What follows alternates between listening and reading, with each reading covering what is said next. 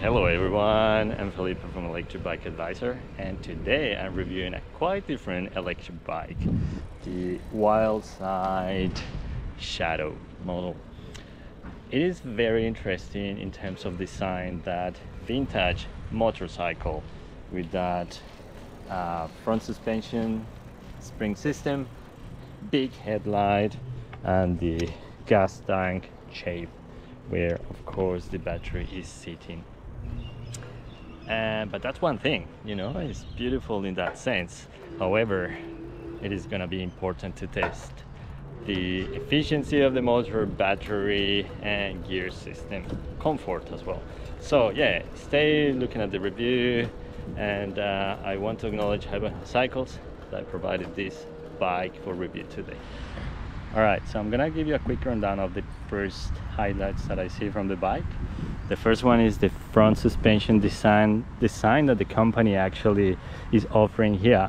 Is an unconventional system and basically connects here and then just this uh, coil system two system are gonna provide I think enough support for the actual rider in this sense and reducing the amount of weight that you're gonna put on the on the suspension system. Whereas if you have it here then the whole uh, the whole uh, suspension is gonna have to deal with the complete weight of the bike which I think it is around 28 kilograms to 30 heavy side.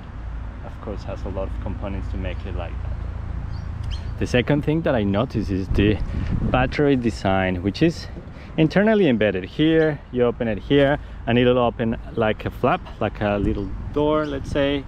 Here's the pivot point. And it's just so cool the design of the type of a vintage gas stack of a motorcycle. So that is a very appealing design. The other thing that I find super interesting is the design of the handlebar having a U shape providing the rider enough comfort again like having a, a motorcycle type of style and also these very clean cool leather grips. Actually very comfortable with this little flap here uh, that is very impressive. And the other thing that I love from the from the bike is the inclusion of the rear rack and I'm quite impressed of what they are offering here with 25 kilograms capacity to carry that weight.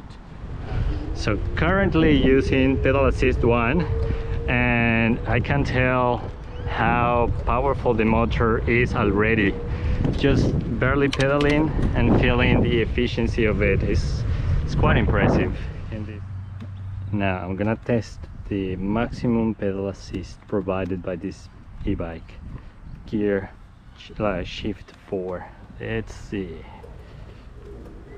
All right feeling the motor. Pushing my pedal.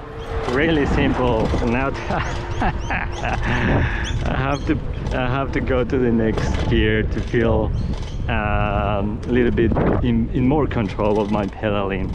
It's very powerful. There you go. I feel like there is a millisecond or a slight delayed in the motor sensitivity or reaction like um, maybe half pedal which is uh, interesting I think. Now there is one thing that I'm noticing is there is another delayed for the motor to cut the power. So it could be like an extra second. Right now I'm pedaling and having that assistance. I'm not pedaling anymore and I'm having yeah roughly a second extra second the motor providing still some assistance. So from what I've seen in general like seems to be the type of configuration for Bafang motors. Uh, testing the XDS E-Cross uh, which also has a Bafang motor was pretty much doing the same thing. When stopping my pedal the motor was giving that extra extra push for around one second. So interesting to note. Now let's see how the front suspension performs in this section of the park. And you can tell like super smooth. I don't feel much of the vibration going into the bumpy bits of this grass section. Let's go up. Oh yeah. I love I love this suspension. It's really comfy. So final impressions about the Wildsyde Shadow model. So yeah, in general the visuals and design design is very appealing. It is quite quite cool and fun to ride. Comfortable enough with those uh, spring suspension design and the saddle is not too bad actually.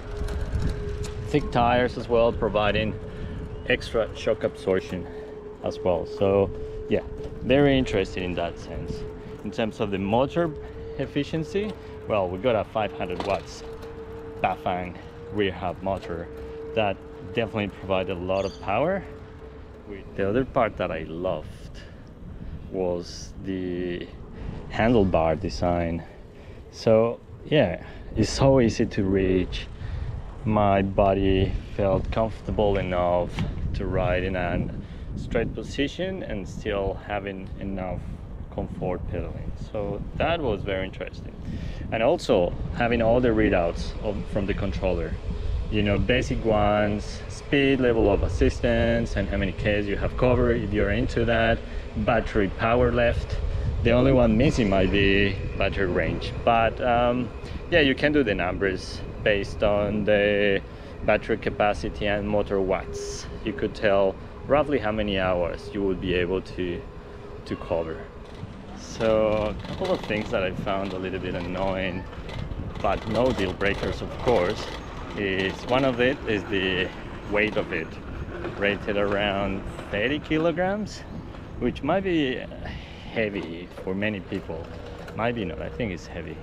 Um, but, well, you're considering all the elements that the bike has and the extra elements to make it look like a vintage motorcycle. So it is understandable. And the other thing is the strange behavior of the Bafang motor giving extra push even after I stop pedaling.